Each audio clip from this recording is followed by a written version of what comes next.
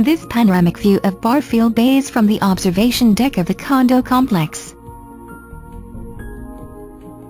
Condo pool area with deck chairs. The complex has four buildings with the subject condo building being the second unit from the entrance.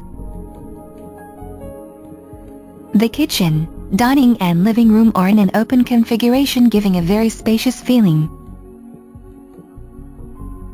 This view shows the entrance and living room.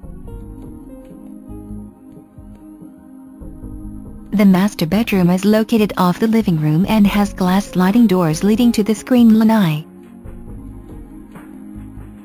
The master bath has marble countertops, tub and gracious open shower. This spacious lanai is tiled and overlooks Barfield Bay. The Vintage Bay complex has a receptive and gated entrance.